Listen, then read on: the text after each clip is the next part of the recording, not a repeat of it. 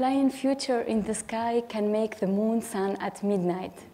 The idea behind this fancy title was the flaky tests. That due to flying futures that share uh, resources, guess about what I'm going to talk today. Yeah? Concurrency. And thank you, uh, first of all, for, thank you all for uh, coming and thanks to the organizers for this opportunity. So our journey today, we are going to cover the difference between parallelism and concurrency and how could we describe parallel computations. Then we are going to see which kind of issues that we can face in uh, concurrent programs. Then how could we solve them? And to make this talk interesting, I'm going to talk about ZIO.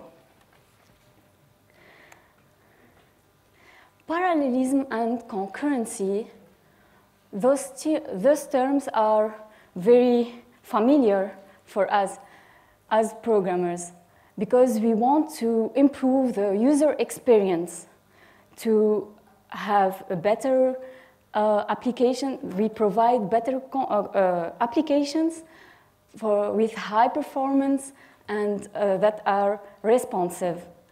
So, but it's very important to differentiate between parallelism and concurrency. Parallelism is the way to use the capability of your hardware that to make it possible to run simultaneous tasks at the same time.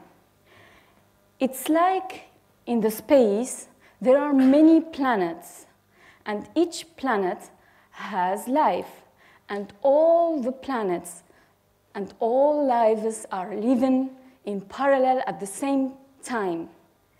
In other hand, concurrency is the way how to coordinate between different tasks running simultaneously but out of order and how to coordinate with them to have, uh, without affecting the final results. Back to the space. At any point in time, any planets can be hit by the ray of the sunlight. To make it clearer, parallelism is doing many things at once or executing multi-tasks simultaneously. This providing high performance, and this is very uh, according to your hardware. But concurrency is dealing with many things at once and communicating with different tasks that are running out of order and the ability to have a correct result. We will understand this more for a hardware with four cores, we can run parallel, uh, parallel tasks and all of them will be uh, simultaneously executing in uh, the JVM. And concurrent tasks will be executed all together but out of order. So because the scheduler will will decide which task will be executed at any point in time, and the scheduler is a part of the operating system. So we, it, concurrency is uh, tricky because of this, because no one can know your, which task will be executed at any point in time. And for, in case if you have a hardware with one core, you cannot achieve parallelism. You cannot say, I have parallel tasks, one task running in parallel. No, it doesn't make sense. And uh, the hardware will not enable you to have parallel computations.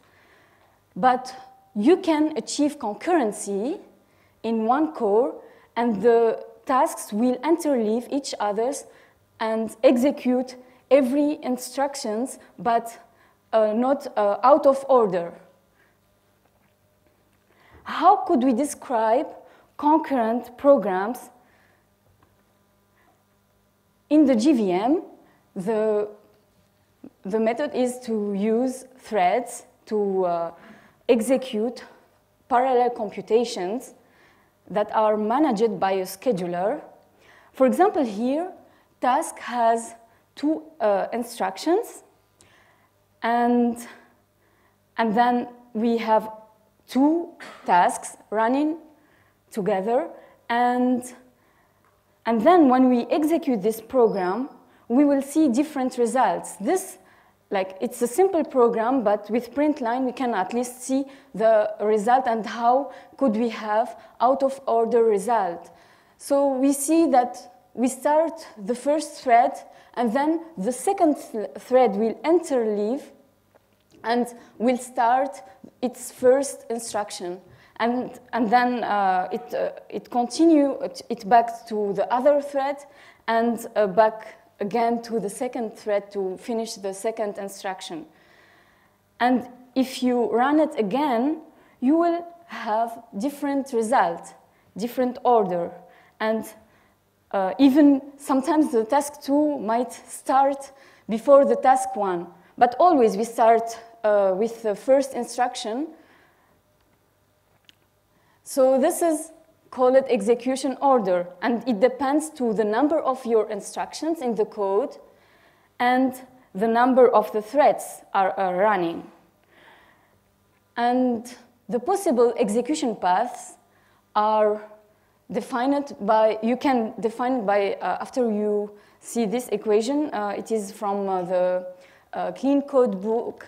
Um, I cannot say it in English, uh, n t factoriel sur n factoriel à la puissance t. Uh, it's, uh, the n is the number of the instructions, and the t is the number of threads. So in our case, we have two instructions and two threads. So we want to have six possible results. But in a case, if we have tasks that are not related, they are not using shared resources. We will not have any problem with this. We will use the capability of our hardware, and it's okay if our, uh, our code, uh, our uh, tasks interleave uh, these instructions, no problem.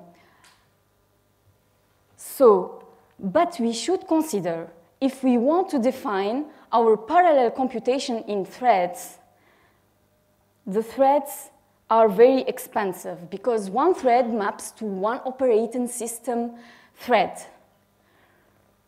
And imagine, uh, so you can see the number of your, the cores uh, available in your uh, machine for, your, for the JVM. Imagine if you have four cores, so you, have, you can only have four uh, threads. You can only create four threads and you will use the whole resources in your machine. And imagine if you have 100 or 1,000 tasks running in parallel, this will be very, very, very expensive operation. And it's not a very good uh, thing that you can imagine because you want to achieve high performance, but you make your hardware very uh, doing an expen expensive uh, tasks. So this is why there are, we can, uh, we can describe uh, uh, our uh, parallel computations and make them, send them to an executor service. And, in, and this executor service we, uh, those tasks will be submitted to the thread pool. And thread pool is like a, is a blocked queue that that is specified by you. You can decide how much thread you can use in your computer. And, um, and this thread pool will take the tasks submitted to the executor service and run them one by one and all together. And, um, and uh, uh, after executing each task, we, they will take the next one and uh, etc. So how to do this? You describe, you uh, define your executor service, and you can create a new fixed thread pool, for example. This is the simplest uh, thing. You specify the number of the thread that you want to use uh, to, to, uh, to uh, take your um, parallel computations, and then submit them all to this executor uh, service. So now you, you, you know how to save the uh, resources using thread pool, and there are many different types that uh, it depends to your use cases. The, the thread pool and threads are usually used in Java, but because Scala standard library offer us a data type called future that enable us to describe our parallel computation. So we can just call future and drop uh, the, uh, this, uh, our parallel computation inside this future. And, and it's the same example here, but it's, uh, the future requires an, execute, uh, an execution context that to understand how, which strategy the thread pool would be uh, do the work for your um, uh, parallel computation. So, so by default, you import the global execution context, but you should, you should think that this global uh, execution context will use the whole capability of your hardware, will use the, the, the number of uh, the cores available in your machine. So the performance of the program will depend to your CPU. But it's okay, there is a solution that to override your execution context with uh, the thread pool that you can choose.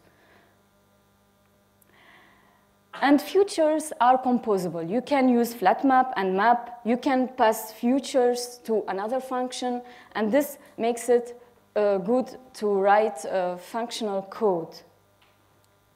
But futures, sadly, are not referential transparent because if you, in the left hand, this program is sequential, and in the right hand, if we define, make the future in uh, different values and then call them in uh, for comprehension, we will have parallel programs which it, it change the behavior of your program. So this will make your futures flying.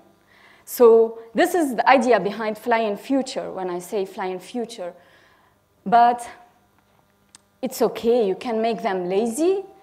So now you have, you have, uh, you have, uh, you have uh, same program, the same meanings, but you shouldn't forget to make uh, the future lazy. So it requires uh, to think about that. But let's not think uh, a lot about this problem, and let's see which kind of problems that we can face in uh, concurrent programs. Flying futures in the same sky can make the moon sun at midnight. Imagine if a sun is running in a future, and the Earth is running in another future, and the moon also running in a separate future. And all of them are sharing a mutable state that take the sun, the moon, and the earth state. The earth will compute its state using the sun and the moon state, and the moon will compute the state using the sun state. One day at maybe, let's say 11.58 uh, p.m., the moon wanted to change the state. And the sun at the same time changes its state.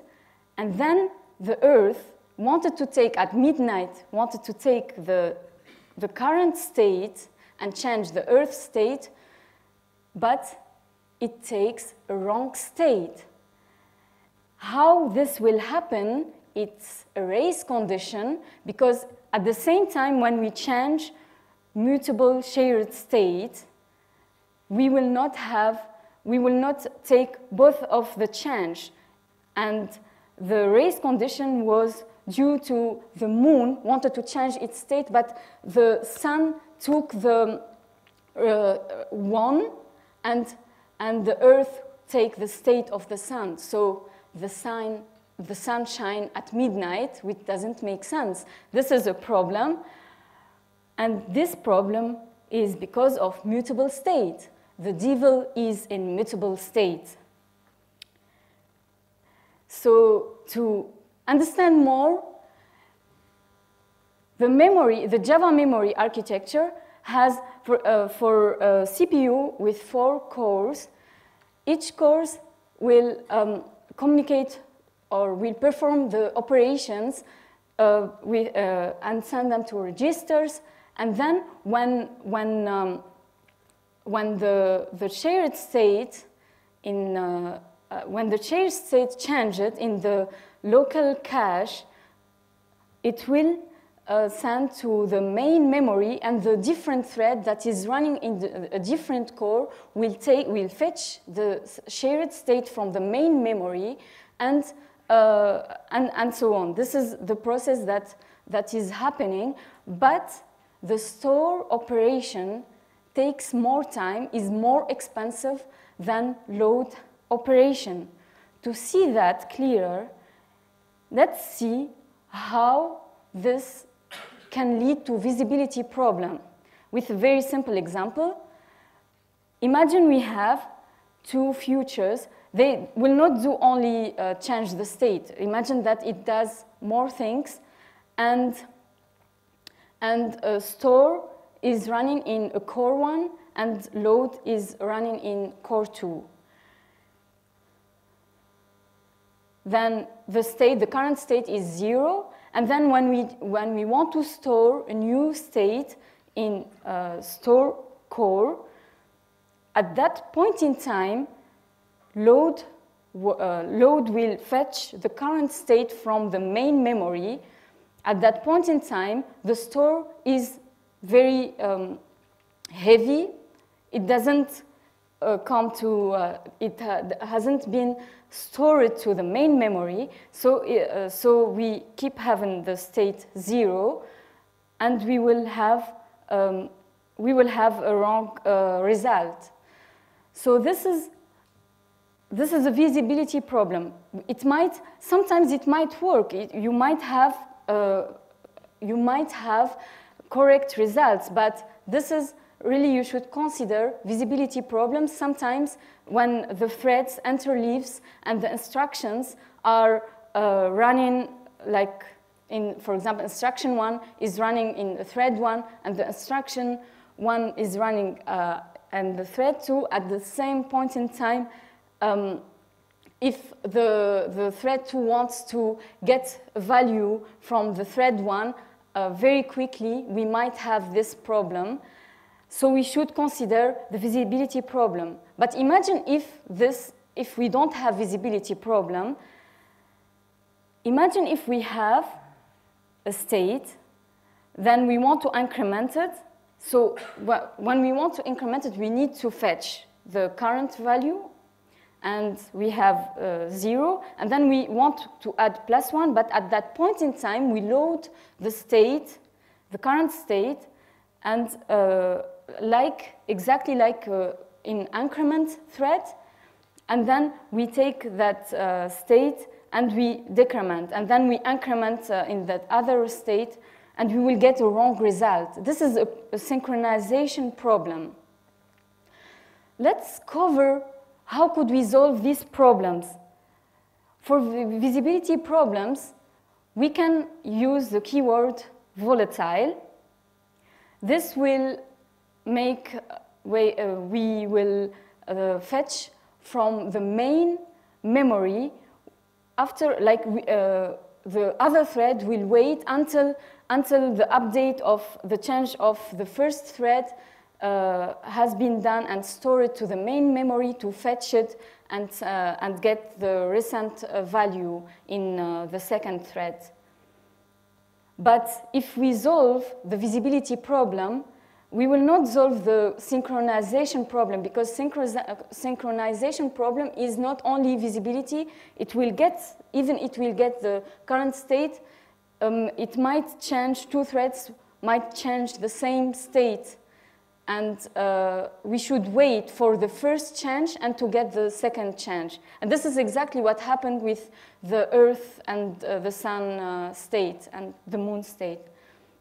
So we can solve this problem by using synchronized or by using atomic reference that will, uh, for example, you want to increment that will have, uh, it offers methods that atomically update and get your um, your uh, uh, mutable state, but you should consider that to do that in one instruction, because you should consider the interleaving of uh, between the threads, and also you can use countdown latch or locks and or semaphores, but this will affect the performance for sure, but this you should do that because to avoid problems uh, due, uh, if you want to uh, provide concurrent programs without problems.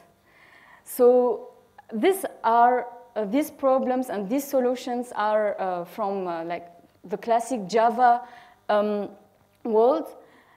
There is also a good thing in Scala. There is uh, functional programming libraries that offer many things, and from from uh, one of them are Zio. And Zio offers the capability to the referential transparency that future doesn't offer, but also it offers how uh, the solution for the problems of mutu uh, mutable shared states.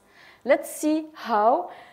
Zio is, uh, for people who doesn't know, Zio is a zero dependency Scala library that helps us to build asynchronous and concurrent programs using purely functional code. And it's, uh, it is possible to make your program functional, even it uh, interact with the outside world, it will just wrap it in a data type, make it as a description, and then at the end of the day, you can run it. But only when you decide. You can control your effects using the I.O. in Zio, and the I.O. models synchronize, uh, synchronous and asynchronous code, and, and the main, the main, um, the main uh, program in, uh, in Zio is running in Fiber, and Fiber is built in Zio. Fibers is um, uh, models running I.O. value. And if you have asynchronous code or, or parallel computations, you can make them running in many fibers. And many fibers can be executed in one thread. And this is also save uh, resources. And this is using the thread pool that I talked about it uh, earlier. So how to describe your effectful programs in purely functional way is, is easy to just wrap your code into an IO and, and, uh, val, uh, and also with uh, Fred, uh, what is it? Uh, with fibers, if you want to uh, run your program in a separate fiber, then the main fiber you just call dot fork, and this will create an IO of fiber. Zio is referential transparent, as I mentioned it. So here, the left program is exactly equal to the uh, right program. They both, both of them are executed sequentially. And when you define a value of type IO, it will do nothing only when you call it. This is the reason why it is referential transparent. And also, if you want to run your program in different fibers, you can uh, call .fork for every uh, operation. And also, it is referential transparent. And there are many things that you can benefit from Zio is to use, for example, collect par all Uh, uh, collect all par that uh, enables you to, to put a list of IOs that you want to uh, perform in parallel. So you can put them all together and this will be executed internally in different fibers in parallel. So to solve the problem of concurrency, there is a data type called STM built on Zio that provides the ability to atomically commit a series of read and write to your shared resources uh, and uh, transactional memory because it will put it in a trans inside the transaction when a set of conditions are satisfied. I will, I will um, explain that more. But the data type that describes a transaction called STM, which might fail with an E or, uh, uh, or return uh, a value of type A. And inside your transaction, you can define your transactional memory, your, your um, shared state in a TREF of A, and the A is the type of your shared state. This can be read and written uh, inside the transaction. How this works? In the beginning, TREF will have will start with an initial state, and during this transaction, it will perform many. Uh, the STM will perform many operations that you uh, want to do. For example, you want to update your shared state or get it, etc. And and during this uh, transaction, if in case if the transaction fails, it rolls back to the initial state. And in case if, the, if there is different fibers are updating the same TREF, the transaction also will roll back and retries, automatically retries, until, until STM will make sure that there is no race condition. It will make sure that the, the, the state is synchronized and uh, visible. This will solve the problem of uh, that I mentioned earlier. And also in STM, you can give, uh, in your transaction, you can give a condition that in case if the state doesn't satisfy this, uh, uh, this condition, it can roll back and then once the state will be changed, it will, uh, STM will perform the whole operations to check again and again the condition if it is satisfied until it succeeds. And then at the end, if everything went well, the transaction will be committed and we will have the final state that contains our state. And this, after we commit, we will have an IO. And the IO will, we, will uh, describe our effectful program. This is, let's see how could we do that and solving the problem of uh, the, the solar system. For example, now we have the state. It is the, the, our shared uh, me, uh, the memory, transactional memory. So it is TREF state we will use that in, uh, to change the sun, earth, and moon states. And to compute the sun state, we will uh, compute them inside the, a transaction. Just um, uh, STM offer also a simple, you can just define a succeeded, a successful transaction with a simple equation to compute this state. And then take that state and update it uh, using the previous value and, uh, and update it uh, with the result of your transaction. And to make your transactional reference, you can, you can uh, make it with initial, using uh, the initial state to put, to start with the initial state, but you need to commit this transaction because you need to perform the whole uh, change, the whole state change in parallel, all at the same time in different fibers. So you can call this, um, this method that returns, all of them returns STM transactions and then commit them and fork them.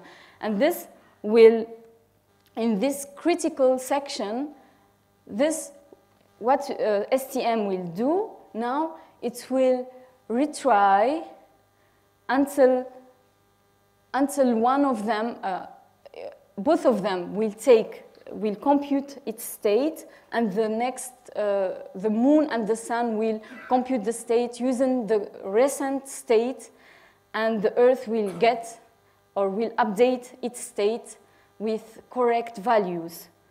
Now we solve this problem with a very simple code and without, because if you think about the business logic and then you think about the concurrency problems that are very, very complicated, you will waste a lot of time. So it's okay to use a library that provides all of these things instead of thinking which critical section that you should synchronize or you should use semaphore or uh, something like this.